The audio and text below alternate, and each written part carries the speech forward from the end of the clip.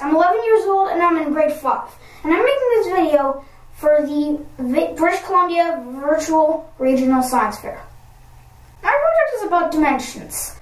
What a dimension is, different kinds of shapes in different dimensions, different kinds of shapes that are unique to different dimensions, and patterns that are common in all dimensions, as well as a bit of bonus math as for the Pythagorean theorem generalized to higher dimensions other than 2D. But to illustrate all that, I've created homemade models. It's really interesting to think that something that isn't really graspable, we can still get a sense of it by using analogies to our world in three dimensions. To think about it, we experience four dimensions in a similar way two-dimensional people experience three dimensions. The main reason why I chose this project is that it really helps us visualize that we can't see something, but we can think of what it looks like.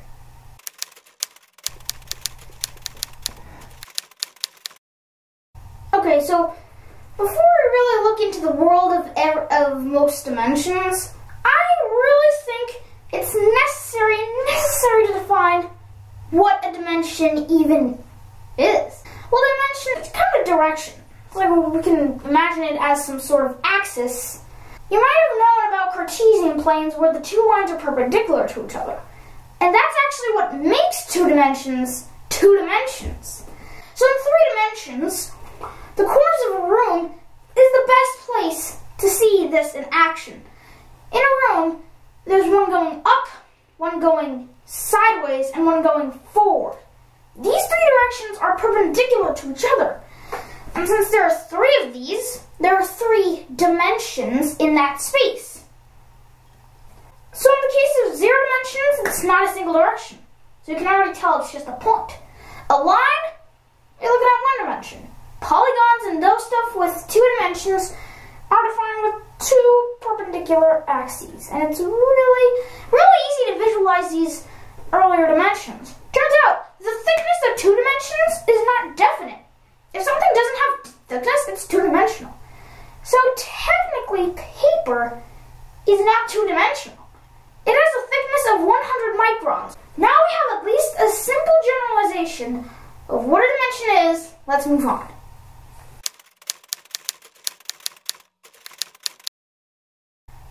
So now that we have a basic understanding on what a dimension is, let's look at the simple shapes of 0 and 1 dimensions. Points and lines are simple shapes and are the only shapes in 0 and 1 dimensions respectively. When you take a point and move it across, and then connect those two points, you have a line.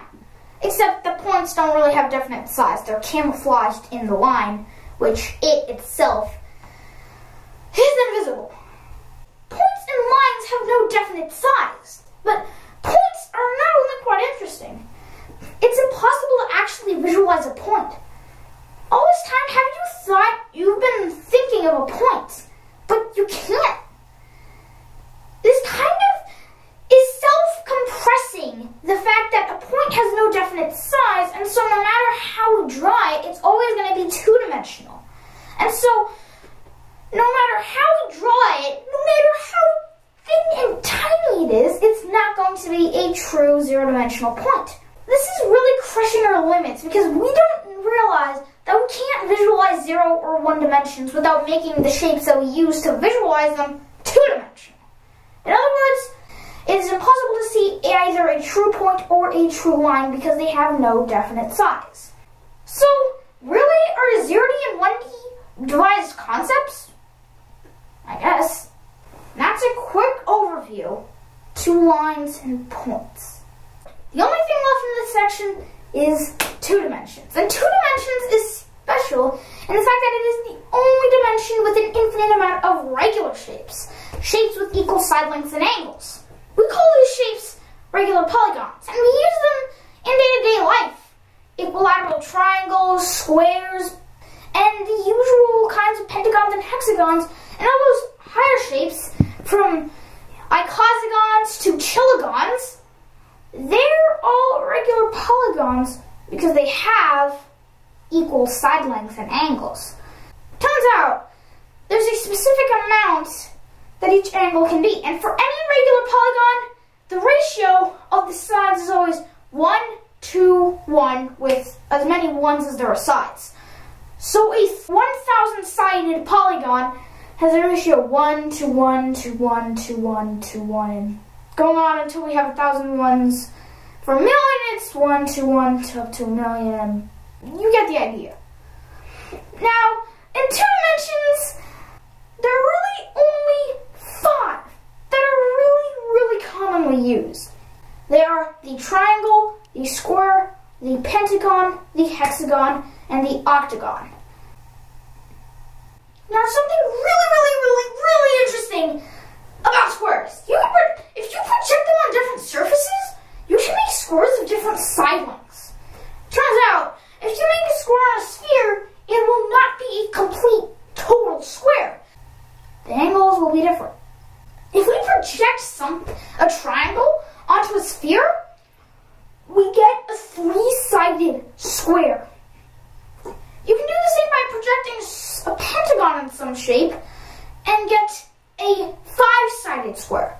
Pentagons are pretty interesting. If you take the pentagon and add all its diagonals, you get a two-dimensional representation of the four-dimensional shape called the five-cell. And based on our definition, that something perpendicular is at a 90 degree angle, we can also say that a square is an extended line perpendicular to itself in the second dimension. When you take that line we had earlier and just assume it does have size and extend it up, move it up, and connect the respective corners along the way, you get a four-sided square. Let's look at truncation and rectification. So truncation is when you cut off the corners to, to a certain extent that isn't all the way. And you cut off the corners by line segments in two dimensions. In three dimensions, you cut off and make new faces. In four dimensions, you cut off and make new solids. But we'll get to the more details of the, the truncations in those higher dimensions. Imagine just drawing a square, as shown. Now cut its corners as shown. You get an octagon. So the octagon is indeed a truncated square. Let's look at rectification. Turns out rectification is just a complete truncation. It's the most you can truncate an object. Any shape rectified is the same shape, but a shape truncated has twice the amount of side. This is always true in two dimensions. And well, in, two, in three dimensions is not always the same shape. For example, the cube and the cube octahedron, but we'll get to that. For now, rectifying things is simply cutting the truncation to such an extent that the truncation have to pass through each other if you gotta continue more, and thus they don't become a polygon. See, a polygon is a shape that is closed and doesn't have any lines intersecting. And they also have to cover an area, which means they have to be closed. So two parallel lines won't make a polygon. This is actually why polygons with two and one sides don't exist, based on the definition of polygons. Okay, let's look at stellation. Stellation is extending the edges of a polygon. Unlike polygons, polygons can only start at shapes that are five-sided, at pentagons with their edges extended. Do you know why? When you extend the edges of the other of the equilateral triangle on the square, they'll never meet. Because the edges of a square are parallel to each other. And based on mathematics, parallel lines never cross each other. Pentagrams is actually the star shape you're familiar with. Turns out there's a pentagon inside. Here's a more accurate representation of the hexagram, heptagram, octagram. We're extending the edges you take a polygon and extend their edges until they meet in both directions. Now stellation is going to come in handy later on in three dimensions, but let's move on. Okay, in two dimensions there are shapes that don't fit the requirements for a polygon, nor a polygram. And these shapes are called non-polygons. And there's one that is probably the most famous and most common, a circle. A platonic solid, like the tetrahedron or the cube, is a shape made of only regular polygons. And all the faces are the same regular polygons. All the number of polygons that meet at a vertex are the same, and the shape must be convex, meaning that it's closed, not open. There are five platonic solids. Let's look at them one by one. The tetrahedron is a pretty simple shape. It's the simplest shape in three dimensions. Pretty simple, looks something like this. Now this model is where the green edges you see form the triangle base and the upper line and the, these lines point up. In other words, this is basically a triangular pyramid. But now why is this a platonic solid? As you can see, all the faces are triangles. It has four triangle faces, six edges, and it has four corners. We're all familiar with the cube. You see that there is a, a yellow square and a red square. The square is being extended along these purple lines, which means that the cube is a generalization of a square in three dimensions. And the cube has six square faces, 12 edges, and 8 corners. Here's the octahedron. Now look at these two. You can see that the front and back faces represent the front and back sides of the cube. The top and bottom faces represent the top and bottom corners. The left and right faces represent the left and right corners. And all the faces represent each of the corners. These four represent the, the top four faces represent the top four corners, and the bottom four faces represent the bottom four corners. In other words, this is dual. So what it has is instead of eight corners, six corners for each face. Eight faces for each corner on the cube, but 12 edges.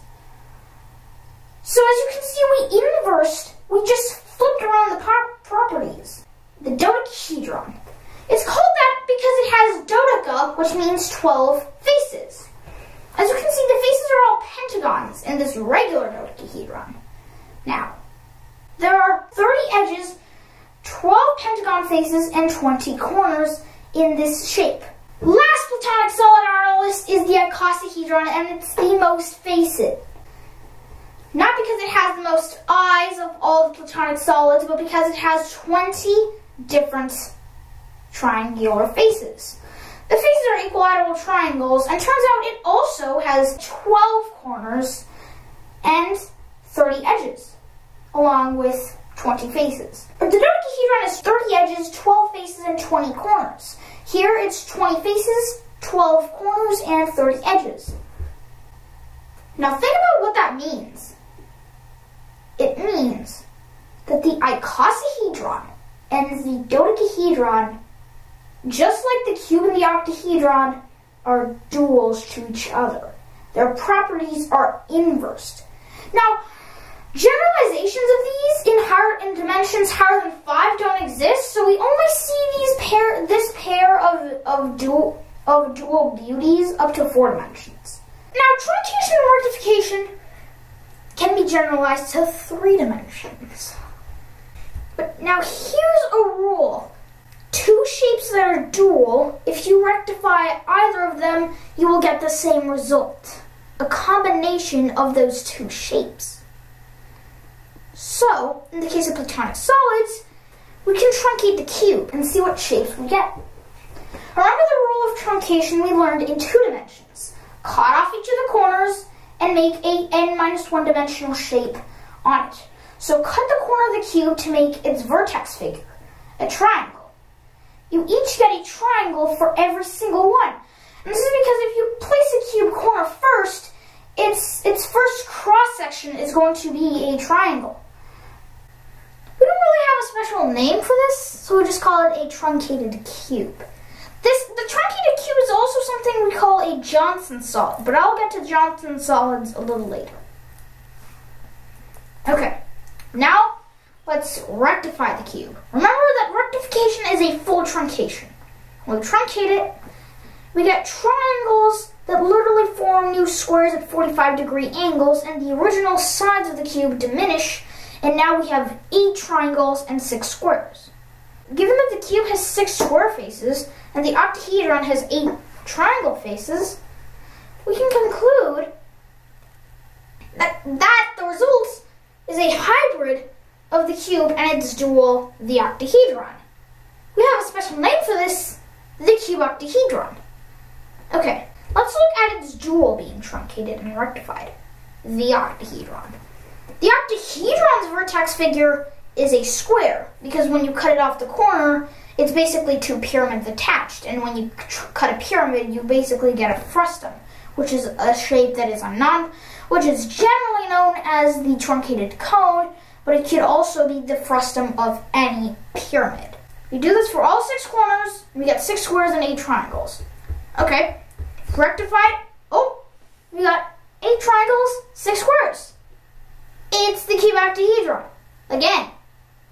Okay, so we can conclude that when you truncate either a that when you rectify either a cube or the octahedron, in each case you get a hybrid of the two shapes. Let's look at the dodecahedron and the icosahedron. When you cut the icosahedron, because the top each corner is on the top of a pyramid, when you cut it off, the vertex figure is a pentagon, leaving you 20 triangle, leaving 20 triangles and 12 pentagons. When you when you rectify you also still have 20 triangles and 12 pentagons. A hybrid of the icosahedron and its dual, the dodecahedron. This we have a special name for, the icosahedodecahedron. We've confirmed that the icosahedron, when you rectify it, you get a hybrid of its, its and its dual, the dodecahedron. Let's try cutting off the dodecahedron. It might not be so obvious since they're not on the top of prisms, but the vertex figure of a dodecahedron, if you connect edges, you get a triangle. So when you cut it off, the vertex figure is a triangle, unless you're directly at the middle. But when you cut it off, you get a triangle. Since there are 20 corners, it's now 20 triangles and 12 pentagons. Now that we're cut it, it's actually more of a decagon. And so here it'd be hexagons. For the cube, it would be octagons, and for the octahedron, hexagons as well. We have this icosahedron, we have this dodecahedron. We rectify the dodecahedron, and we get 12 pentagons and 20 triangles. It's the icosahedodecahedron. Same result as the icosahedron, which also confirms the fact that any shape it rectified is the cross hybrid of it and its dual. And when one shape is rectified and its dual is rectified, in both cases, you'll end up with two of these hybrids because they rectify to the same shape. So the vertex figure for the icosahedron is simply the regular faces of its counterpart, the dodecahedron. Now here's one last thing to know. Self-dual. When a shape is self-dual, it means that if you took every single one of those numbers and aligned it, when you inverse them, it's going to be the same. It's always going to be the same number. So the tetrahedron is self-dual because 4, 6, and 4, if you combine them all into one number, 464, that number is a palindrome which means it's the same read forwards and backwards. Turns out all polygons in two dimensions are self-dual, which is a key to understanding antiprisms. So, prisms. There's an infinite amount of prisms because there's an infinite amount of polygons. Turns out the cube is a prism. It's a square prism because it's extending a square. For the triangular prism, you're extending a triangle. For the pentagonal, a pentagon and the hexagonal, a hexagon. So a prism is an extension of a shape that is not a square. And even non-polygons can also be extended, but they don't result in prisms because prisms are polyhedrons, which means they have flat faces. The tetrahedron is a kind of pyramid. It has a base, a polygonal base, connected through a strip of triangles. Really, you can think of taking the middle point, extending it up, and having lines that meet at that point. Now, let's look at another kind of shape called the antiprism. So this would be a triangular prism. You have one triangle up here, a triangle down here, connected with a strip of one, two, three, four, five, and six triangles.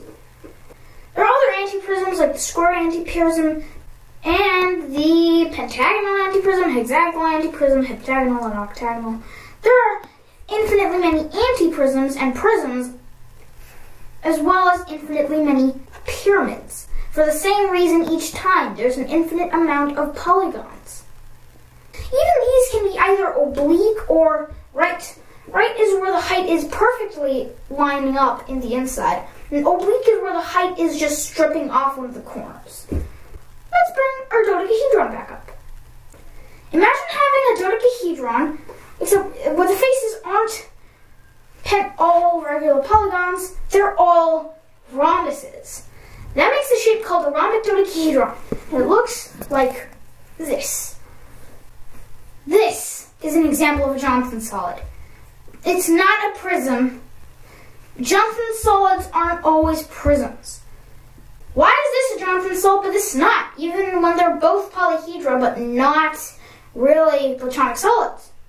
Johnson solids are made of regular polygons but they aren't among the platonic solids.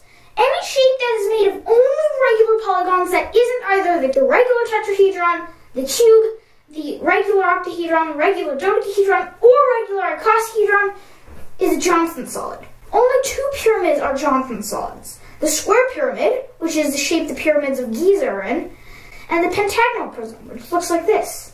Since they are regular, since they are only made of regular polygons, pentagonal and square are made of equilateral triangle faces around the strips.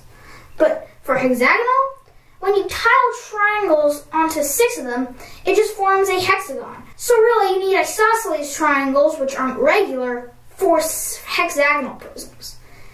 And for everything higher, which explains why only those two pyramids are Johnson solids. Back to this rhombic triacontahedron. Now you can see why this isn't a Johnson solid. Based on a definition, the Johnson solid is a shape that is made of only regular polygons that isn't among the Platonic solids. Or, in other words, another definition, it is a non-regular polyhedron made of only regular polygons. Now let's get a little bit mathy. Okay, you probably know the Pythagorean theorem on a, tri on a right triangle. The hypotenuse squared is the, is the sum of the squares of the other two sides. Now look, if you take a rectangle and you take its diagonal, you split it into two right triangles. In other words, the Pythagorean theorem helps us determine the diagonal of a square with side lengths of the, of the sides of the triangle. So when we generalize the Pythagorean theorem to 3D, it gives us a way to easily measure the diagonals of cubes, like, like so. Now, the diagonal of the cube might seem hard to visualize, but you can do it with any kind of rectangular prism. Here's the formula. Given that sides A, B, and C are there, and the diagonal's length D, D squared is equal to C squared plus A squared plus B squared. What is a stellation? In this case, you're extending the corners of the edges until they meet. Here, we're taking a rhombic dodecahedron and extending all the corners in the same direction as the edge they fit with until they meet. And we're also extending them in both directions, again. And I know this is a rhombic dodecahedron stellation because you have one, one, two, three, four, 5, 6, 7, 8, 9, 10, 11, 12. And turns out, any polygram has the same amount of arms as its original polygon that it was born from. Same with the stellation. So the number of spikes on this is the same as the amount of faces of the shape that was extended to make this. Same with our polygrams. Here's more. The extent, the stellated dodecahedron, stellated icosahedron, bonus a stellated rectified shape the stellated cube octahedron, which was the rectification of the cube or the rectification of the octahedron, as we talked about earlier. So an n-dimensional generalization of this, or the polygrams, will have the same amount of spikes as the amount of n minus one dimensional parts in it. Now let's look at four dimensions. Okay, given these four-dimensional axes, remember, we have x, left and right, y, up and down, and z, front and back. Now, we really don't have a good definition to the direction w. For now, we're going to call it hyper left and hyper right. Really, there's not really a good way to define this direction in three dimensions because there's no way to map it perpendicular on three dimensions, but on paper or on a two-dimensional screen, it would look like this. And based on optical illusions, it would look perpendicular. But really, it's hard to really visualize them as perpendicular. What are regular polychora? Okay, they're made of this. They're made of only platonic solids, and they're made of the same platonic solids. The same amount of platonic solids meet at each edge and each corner. So let's look at the simplest of the regular polychora. This. The Flash cell is simply a generalization of the tetrahedron to four dimensions. So, what you do is that it has five, and it has five tetrahedrons, but it's a generalization because it's a pyramid in four dimensions. So, as you can see, I put a dot in the middle, and we took these lines that go in and converge at that point. They meet there. And that's a fifth of vertices. So there's one, two, three, four, four, and five vertices. Turns out, for every dimension n, there's n plus 1 at corners in a simplex of this dimension. This has 5 tetrahedra, 10 edges, 10 triangular, face, triangular faces, and 5 corners. Oh, by the way, remember, this shape is self-dual. Okay? Let's move on to our next shape, the tesseract. What is a tesseract? This is a tesseract. But really this isn't perpendicular. This isn't a fourth perpendicular axis. This line isn't a fourth perpendicular axis. But because of it being not able to model four perpendicular axes in three dimensions. This is a generalization of the cube we had earlier. So here, what do I mean? I have this red cube, and this I have this red cube in front, and this orange cube in the back. And I see these the, these purple lines connecting the corners, which tells me that that this cube is being extended along this axis.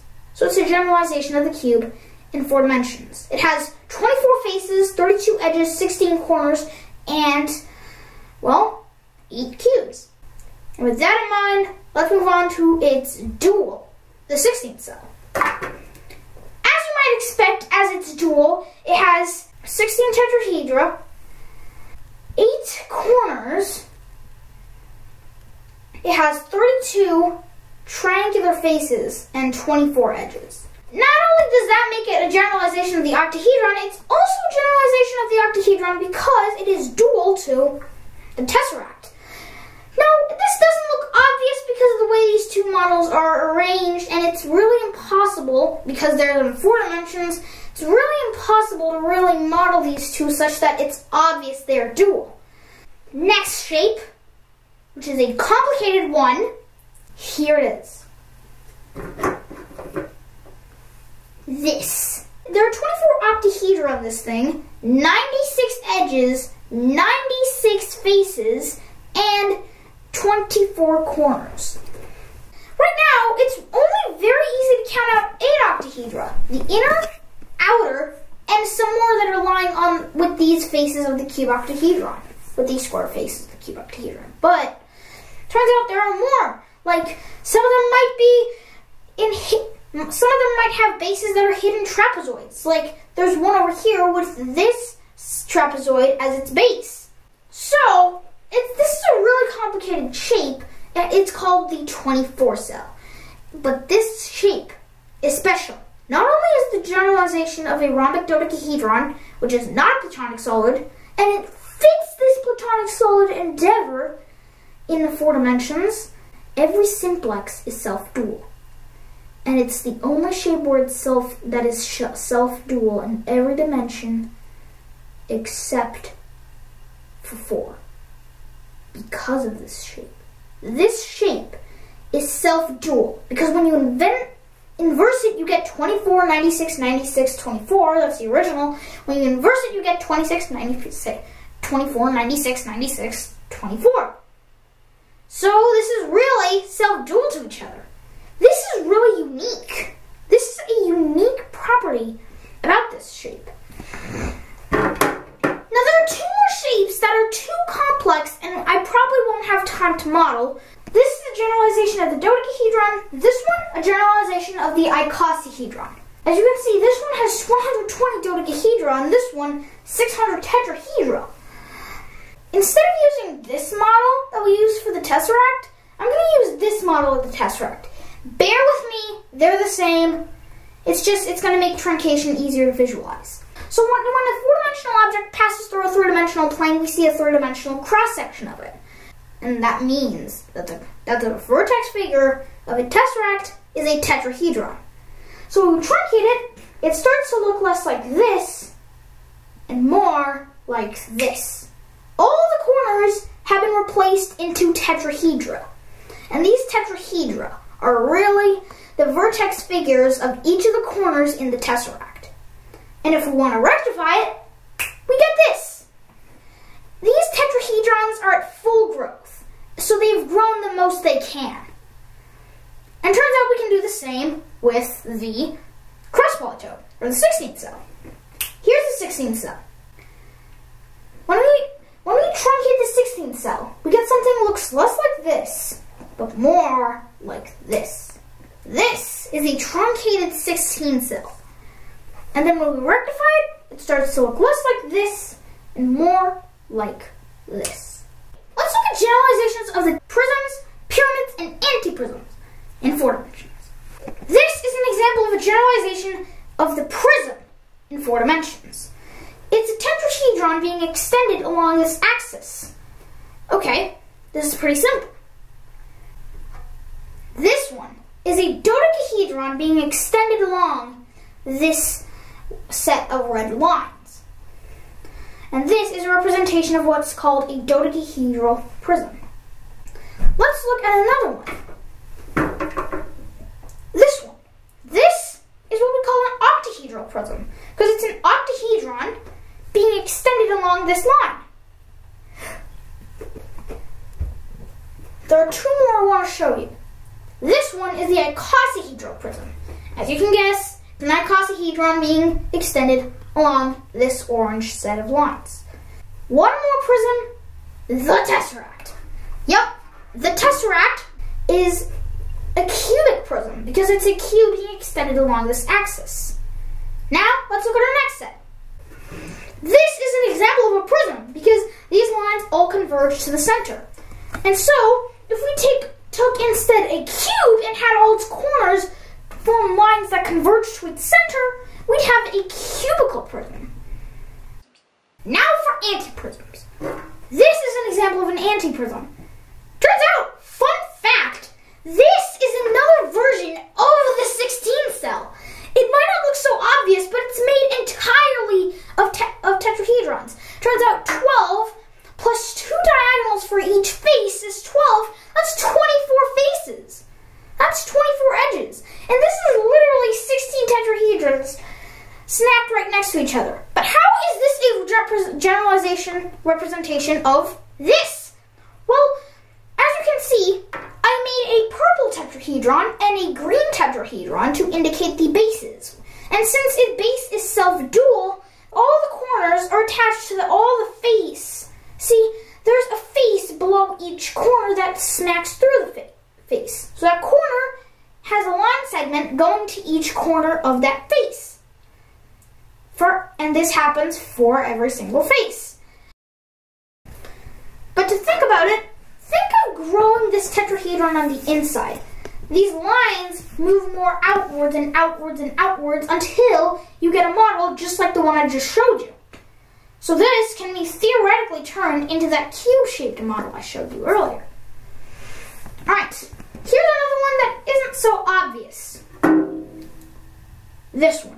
This is called a cubical antiprism or an octahedral antiprism. See, this is because a cube and octahedron are dual, so they will be both bases. And then each corner of the octahedron is connected to each of the each corner of the octahedron is connected to each of the corners of the face below it. And same with the cube's corners on the octahedron. So this is a cubical slash octahedral prism. We can do this for any pair of dual. The truncated tetrahedron can also have an antiprism of its own, so it's self-dual with itself as well. Okay, now let's generalize the Pythagorean theorem to four dimensions. Given some tesseract, this, to find its body diagonal, this, we need to find the length of its sides. Given these sides A, B, C, and D, where D is the diagonal, then E squared is equal to A squared plus B squared plus C squared plus D squared.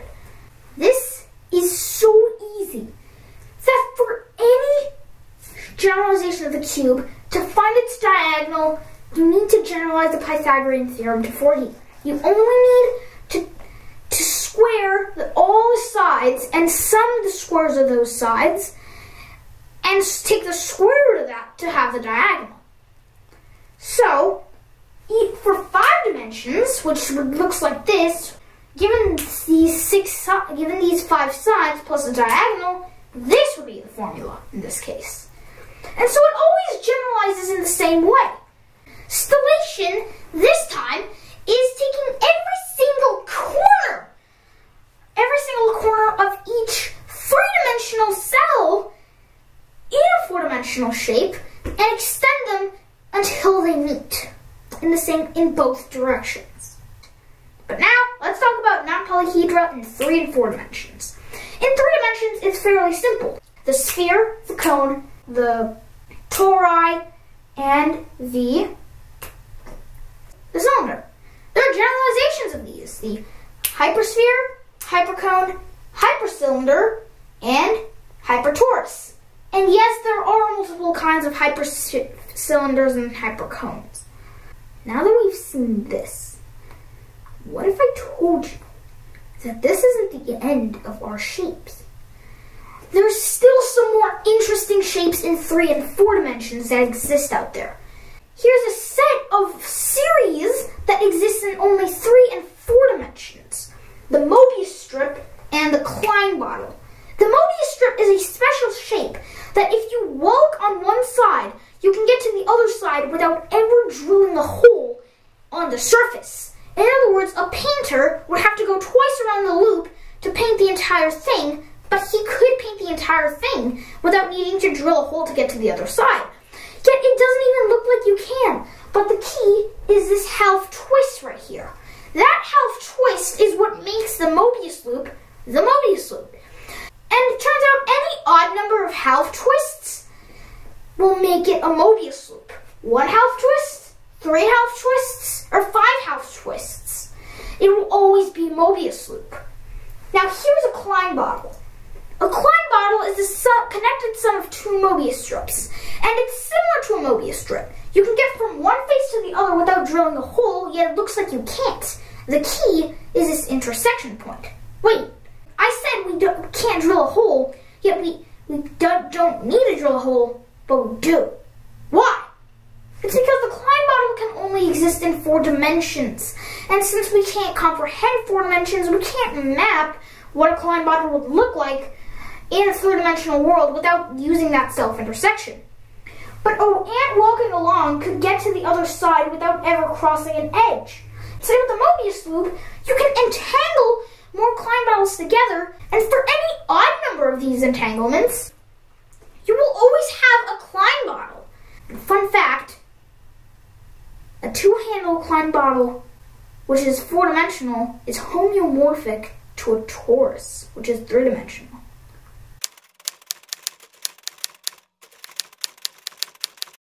In five dimensions, the first thing we want to look at is regular shapes. There are only three of them in five dimensions and above. In five dimensions, here are what they look like.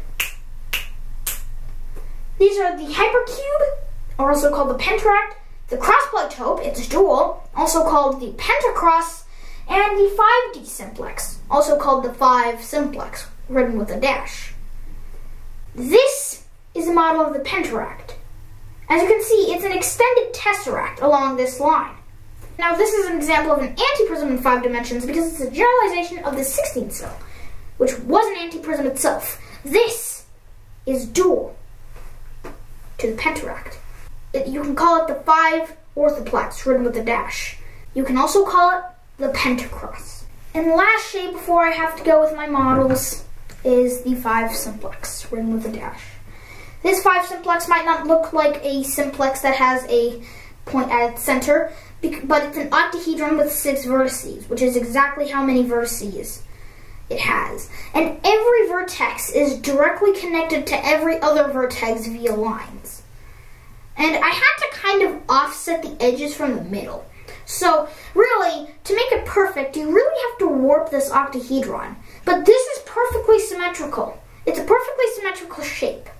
Now, in six dimensions and higher, the same shapes remain. So it's always the same shapes. Here are the generalizations of these shapes, written using the Petrie polygon forms, which have outlines of polygons. There's also truncation and rectification with these. When you truncate higher dimensional shapes, you cut via an n minus one dimensional hyperspace. And eventually, you will reach what's called a vertex figure, which is what happens when you cut a corner off. And that shape will be n minus one dimensional and will be replaced with the corner. So as you can see, truncation and rectification still hold. The Pythagorean theorem is simple. The length of the diagonal squared is always equal to the sum of the squares of the length of all the other sides. And for non-polyhedrons, there's always the hypersphere series. There's always the hypersphere, hypercone, hypertoroid, hypercylinders. It's hard to visualize all these other shapes. It's just really hard to see all these. You can't, because you can't comprehend them. Now, last topic before I have to go, it's stellation in higher dimensions. When you stellate something, you extend the corners of each n minus one dimensional component of it and extend them until they meet and extend them in both directions. There are much more things like kissing numbers or sphere packing, but we don't have time to cover all of them. And so we end our journey with a big wimp to higher dimensions, as we see that our dimension is not the highest. The only limit is what we can see.